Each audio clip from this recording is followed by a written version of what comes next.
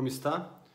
Eu sou o doutor Fernando Lemos, coloproctologista do Rio Grande do Sul, especialista das doenças do intestino, do reto e do ânus.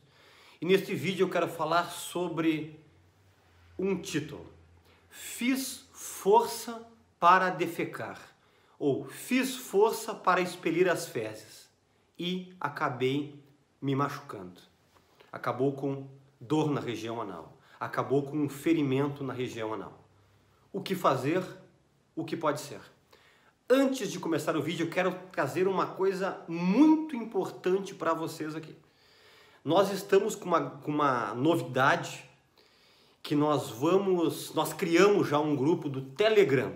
Para quem não sabe o que é Telegram, é como se fosse um grupo de WhatsApp.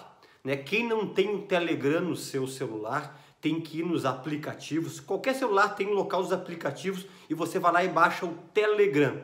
Depois de baixar o Telegram, aqui embaixo, na descrição desse vídeo aqui, vai estar tá um link específico para você clicar e ser inserido gratuitamente nesse grupo privado do Telegram. Eu vou trazer novidades ali, vou trazer coisas exclusivas que eu não trago em nenhuma outra parte da rede social. Faça parte desse nosso grupo exclusivo.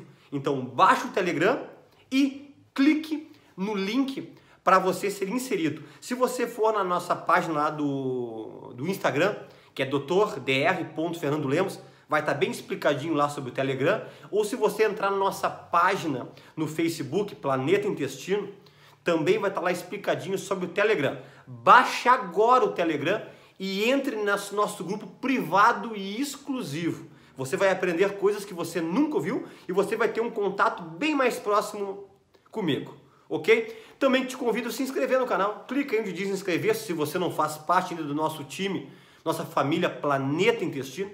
E dá um like, curta agora esse nosso vídeo, é que isso aqui é importante aqui para o nosso canal, ok? Faça agora para não esquecer. Vamos lá. Essa pergunta ou essa afirmativa eu escuto literalmente todos os dias, talvez umas 5, 6 vezes por dia. Doutor Fernando Lemos, eu fui defecar, eu fui fazer cocô, ou eu fui evacuar, ou um termo que se usa muito aqui no Rio Grande do Sul, eu fui aos pés e o cocô estava muito duro. Eu fiz força, machuquei. Ou outros me dizem, uh, eu tive vontade de defecar e eu acabei estando num local que eu não pude defecar, me tranquei, depois não conseguiu sair e eu fiquei me espremendo, me espremendo. Quando saiu, machucou muito. Ou o cocô, as fezes eram muito calibrosas, ou eu tive que uh, me ajudar a empurrar. Tem uns que dizem que colocam um dedo para ajudar a sair as fezes. Não, não se surpreenda, isso aí é muito, muito comum. É uma coisa íntima que ninguém conta um para o outro, mas é uma coisa extremamente comum, infelizmente. Ou tô uma semana que eu fiquei sem tomar muita água, sem comer muita fruta, sem comer muitas verduras e me machuquei. Ou pessoas que têm problema de intestino preso, cronicamente, está sempre machucando a região do reto, canal anal e ânus com as fezes duras. Primeira coisa, doutor Fernando Lemos, o que pode ser? Eu diria para você que pode ser uma série de coisas. Você pode ter machucado os vasos hemorroidários, você pode ter principalmente criado uma fissura anal, uma laceração, um corte no canal anal e no ânus. Como nosso objetivo aqui, eu estou falando para leigos e não para médicos exclusivamente, mesmo nós tendo aqui no Planeta Intestino milhares de médicos, é um prazer ter vocês aqui, mas eu falo para público leigo. Se eu fosse dizer assim, ó, 95% dos casos que passou um cocô duro, fez muita força para defecar, fissura anal. Abriu um cortezinho na região anal. E aí o que fazer? Até você ir poder chegar num coloproctologista, num proctologista para poder lhe examinar. Eu não estou dizendo que esse vídeo aqui eu vou lhe dar todas as dicas e curas para você não ir no especialista. Negativo eu vou dar a abordagem inicial para você poder, logo que der, marcar uma consulta com um especialista, com um coloproctologista, mas se você não tem convênio, se o seu convênio é o SUS, vai num posto de saúde, vai numa emergência, que eles vão chamar algum médico para te avaliar, até poder te encaminhar um especialista. Mas eu quero lhe dizer é o seguinte, você tem que fazer uma abordagem inicial muito séria. Porque essa fissura que você abriu, por causa que você forçou muito, ela é uma fissura aguda. É uma fissura que você tem como você cicatrizá-la rapidamente. Porque se você deixar sem fazer nada, ela vai acabar se tornando uma fissura crônica. E geralmente depois dos 14 a 21 dias, duas, três semanas, se você não fizer nada, ela vai cronificar. E aí só com cirurgia para curar. Obviamente você que tem dor já há muito tempo na região do reto do ânus, vá procurar o seu especialista. Tem pacientes que chegam comigo com dor na região retal, anal há muito tempo, eu vou examinar, está com câncer de reto, um câncer de canal anal, está com uma fístula, está com uma papila quase obstruindo ali, tá? Mas aqui eu estou falando em relação a pessoa que defecou, passou e teve muita dor. O que fazer? Primeiro de tudo, eu estou lembrando aqui para o lado da fissura anal, para o lado da laceração anal, para o lado do corte da região anal. Porém, se for, por exemplo, uma machucou, uma doença hemorroidária, uns vasos dilatados que eu tenho na região do reto dando há muito tempo, as orientações vão ser iguais, tá? Para essa abordagem inicial serve também a orientação exatamente igual. Primeiro de tudo, inicie urgentemente com 3 a 4 banhos de assento por dia. Pega uma bacia, coloca dentro do box, embaixo do chuveiro, enche com água mais quente que você tolerar do chuveiro e sente dentro. Imersão. Banho de assento não é com vapor, como me perguntam, acho que 100 vezes por semana. É imersão, sentar. E você ficar sentado nessa água quente 15 minutos de manhã, 15 de tarde ou 15 à noite. Ou se você quiser ser mais correto, 15 de manhã, 15 ao meio-dia, 15 à tardinha e 15 à noite. Leve uma térmica com água um pouco mais quente, não fervendo, senão você vai acabar se machucando. E o interessante é que a água seja quente. Não adianta mora, tem que ser mais para quente, mas também não água fervendo, ou água, como o termo popular, água pelando, em hipótese alguma isso. E tem que ser os 15 minutos manter essa água bem quentinha. Então por isso que tem que levar uma térmica para poder ir aquecendo. Não precisa trocar água, vai só completando. Por isso que é bom fazer no box, que você vai transbordar água, não vai sujar absolutamente nada ali. Acabou o teu banho de assento. Seca o ânus com uma toalha. Inclusive nesses próximos dias e por favor, pro resto da tua vida, sempre que tu for defecar, nunca mais ter limpo desta maneira. Se for usar papel higiênico, batendo. Esse aqui é um erro não do povo brasileiro, do povo do mundo todo, que aprenderam errado que ano se limpa assim e ano se limpa assim, e o perfeito seria você lavar, água e sabão de glicerina, um sabão neutro, e depois secar com uma toalha batendo. Não esfregue, ok? Fez banho de assento, depois você seca muito bem com uma toalha, o ânus, batendo.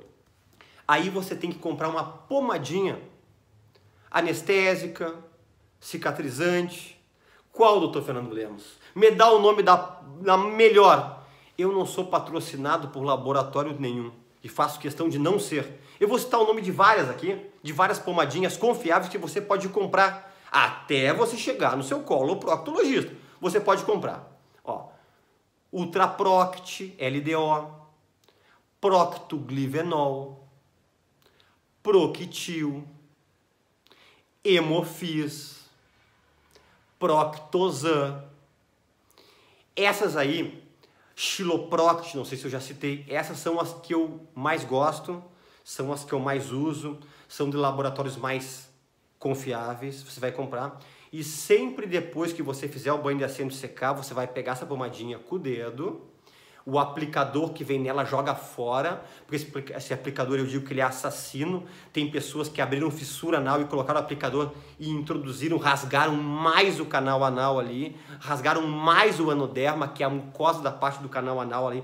Às vezes, até inadvertidamente, já tive dois casos ao longo da minha vida que teve uma perfuração do reto, a gente chama de extraperitoneal, o reto que não é, não dá para dentro da barriga, parte mais de fora ali por causa desses aplicadores aí.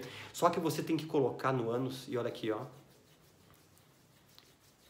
10 a 30 segundos massageando por fora. Depois você vai pegar essa pomadinha com a pontinha do dedo e vai, olha aqui, ó, com delicadeza, como se fosse um, um parafuso, de um lado para o outro, mais ou menos a polpinha do dedo um centímetro, um centímetro e meio para dentro, tá? Muitos me doutor, não tem que colocar mais para dentro? Não, é a polpinha do dedo. É isso aqui. E amolecer as fezes. Doutor Lemos, com que que eu vou amolecer as minhas fezes? Muita, muita, muita água, muita água. Tá? 2 a 3 litros de água por dia. 600 ml de água de manhã em jejum, que eu já ensinei tanto. Tem um vídeo que a gente fala aqui sobre uh, sucos prebióticos com mel, dicas naturais para um bom funcionamento do intestino. Não, mas não está adiantando. O que, que eu posso utilizar até chegar ao meu médico? Tu pode usar uma lactulona, tu pode usar um leite de magnésio, tu pode usar um Moving Lax, tu pode usar um tamarine geleia, um naturete geleia, até você poder chegar ao seu especialista. Não fica usando isso de forma inadvertidamente por um tempo uh, indefinido e dizer que o doutor Fernando Lemos está orientando isso. Não, em hipótese alguma é apenas por um tempo curto, porque não adianta você fazer banho de assento, passar pomada e chegar um cocô duro ali, ó, rasga tudo de novo. E a tua fissura vai cronificar, a tua laceração vai cronificar e você vai acabar tendo que fazer uma cirurgia para correção. Logo que puder, vá no seu especialista. Abandone banhos de assento. Outra coisa que eu vou pedir para você, tem um vídeo que eu falo aqui sobre alimentos que causam fezes ácidas. Bem assim, tem assim, ó, alimentos que causam fezes ácidas, doutor Fernando Lemos. Todos os alimentos que eu cito ali, não ingira nos próximas três semanas, tá? E se pudesse ficar mais tempo sem ingerir, melhor. Ah, dá apenas uns exemplos antes de eu ver o seu vídeo. Vamos lá. Pimentão, pimenta, linguiça, salame, salsichão, excesso de alho, molho de tomate, extrato de tomate, esses industrializados, o tomate a fruta, sem problema nenhum, pipoca, excesso de chocolate, ok? Bebida de álcool, cuidado com isso. Então essa é a abordagem inicial, ok? Relembrando, se inscreva no canal, você que não é inscrito, e entre no nosso grupo do Telegram. Você vai perder dicas interessantíssimas, casos clínicos do meu dia a dia coisa que eu só vou passar para o grupo do Telegram, tá? Baixa o Telegram no seu aplicativo agora. Se você não sabe, fala com algum familiar, filho, irmão, irmã, neto, para te ensinar. E depois, no link que vai estar tá aqui embaixo, você vai clicar ali e você vai ser inserido nesse nosso grupo do Telegram. Ou vai lá no nosso Instagram, dr.fernandolemos, que é Dr. Fernando Lemos, ou no Facebook, Planeta Intestino, que também eu vou ensinar para você lá como é que faz para entrar nesse nosso grupo privado do Telegram. E até um próximo vídeo.